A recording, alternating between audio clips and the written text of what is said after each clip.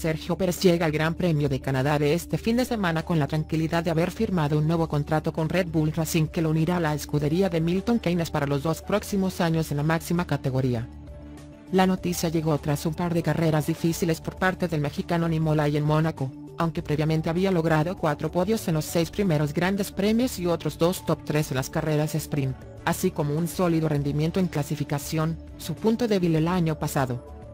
Sin embargo, Checo Pérez sigue siendo objeto de críticas por no conseguir batir al tricampeón mundial Max Verstappen y hay quienes cuestionaron a Red Bull por no buscar otro piloto para acompañar al piloto neerlandés.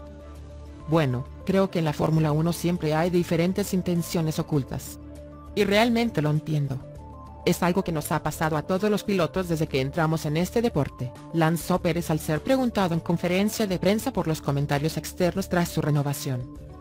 Creo que lo mejor que puedo hacer es bajar la visera y centrarme en mi trabajo, hacer lo mejor para mí, para mi carrera. Al fin y al cabo, lo único que me importa es cuando termine mi carrera. Lo que la gente tenga que decir o no, quiero decir, aprecio que todo el mundo tenga su opinión, pero al final del día estoy aquí para hacer lo mejor para mi carrera y estoy contento con lo que he conseguido, agregó.